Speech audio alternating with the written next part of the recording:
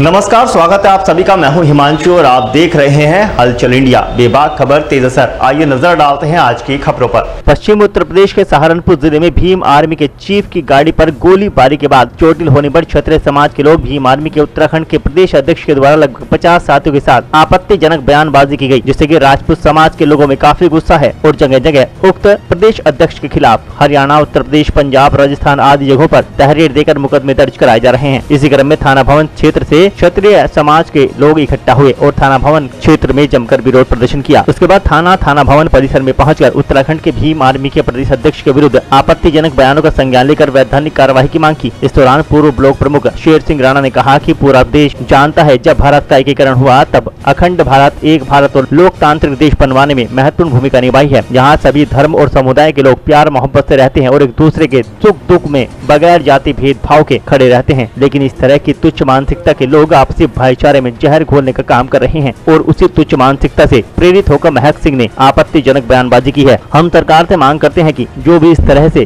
किसी जाति विशेष को टारगेट करता है और वैमनस्य बढ़ाने का काम करता है, उन्हें गिरफ़्तार कर कानूनी कार्रवाई की जाए, जिससे की समाज और प्रदेश में शांति व्यवस्था बनी रहे।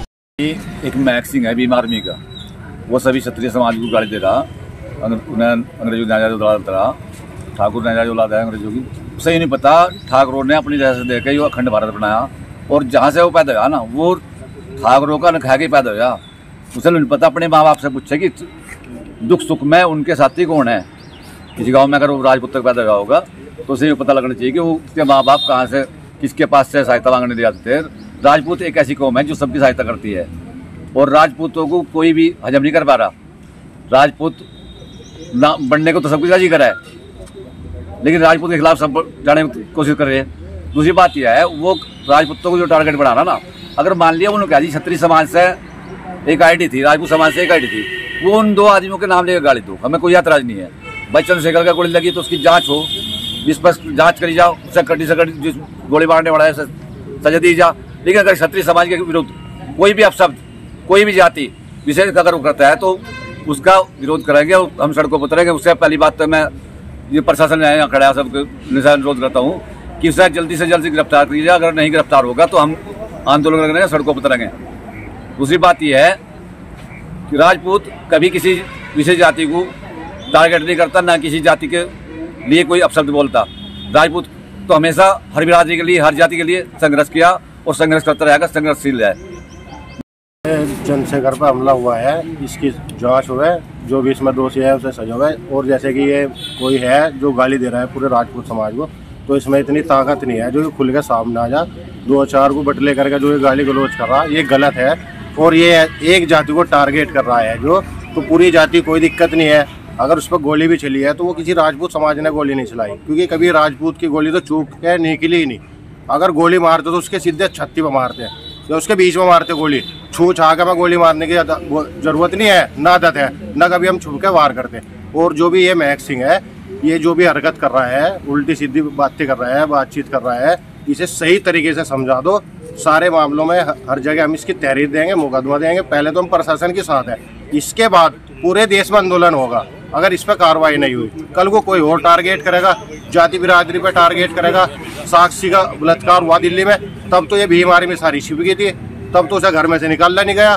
जैसे राजपूत समाज ही दिखाई दे रहा। राजपूत समाज एक मान सम्मान वाला समाज है, जो हर किसी के साथ है। सुख दुख में हर किसी के साथ खड़ा है। ऐसे थोड़ी आप टारगेट करोगे राजपूत समाज को, राजपूत समाज ने गोली मारी। राजपूत समाज वो कौम है, जो कभी भी खड़े खड़े की गर्दन तार दे। छिपके गोली मारने की ज़रूरत नहीं हमें। ठीक है जी? हम यहाँ पे थाने में आए हैं। हमने रिपोर्ट दर्ज कराई है। उसकी जल्दी कार्रवाई हो और हमें इस मामले का संज्ञान का बिल्कुल सही तरीके से पता लगे। किसने उस पर गोली चलाई।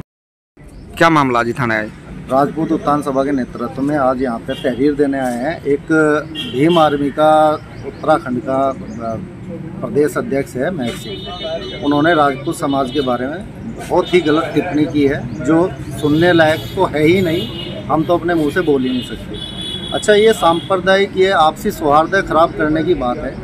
हमारा और दलित समाज का तो बहुत पहले से मेल रहा है। राजपूत समाज और दलित समाज हमारे से मिलके चले हैं। लेकिन कुछ लोग हैं जो इस तरह की राजनीति, अच्छी राजनीति कर रहे हैं और आपस की जो एकता है उसको भंग करना चाह रहे हैं। चंद्रशेखर रावण पर हमला हुआ, जो भी हमला हुआ, जिसने भी किया अपराधी है, वो पकड़ा जाना चाहिए। अपराधी का कोई भी जाति, कोई भी धर्म नहीं होता।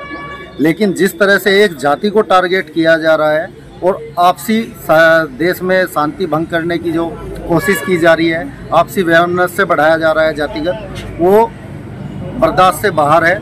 एक ही जाति को बार बार टारगेट किया जा रहा है। तो इस तरह की मानसिकता के लोगों को गिरफ़्तार होने चाहिए। और मैं तो चंद्रशेखर से भी कहूँगा कि इस तरह की जो मानसिकता के लोग हैं, आप अब राजनीति में जा रहे हो, इन लोगों को बर्खास्त करो और बाकायदा उसके खिलाफ आप भी एक्शन लो, उसको बर्खास्त करो और उसको भी जेल में जाने के लिए बोलना चाहिए कि आपके संगठन मतलब भीम आर्मी भी बोले कि ऐसे लोग बाहर हैं। क्योंकि देश में शांति बनी रहनी बहुत ज़रूरी है। और जब तक सब जातियाँ मिलकर चलेंगी, मिलकर काम करेंगे, तभी देश की एकता और अखंडता बची रहेगी। धन्यवाद। वक्त हो चला है आप सविता लेने का। कल फिर होंगे हाजिर कुछ नई और ताज़ा खबरों के साथ। तब तक के लिए दीजिए हमें इजाज़त। नमस्कार। देखते रहिए हलचल इंडिया। बेबाक खबर, तेज असर।